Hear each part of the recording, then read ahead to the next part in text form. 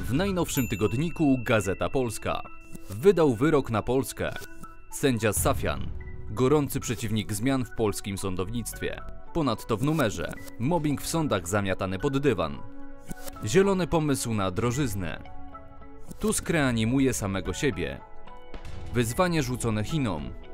I igrzyska nierównych szans. Czytaj w tygodniku Gazeta Polska. Sprawdź ofertę prenumeraty cyfrowej.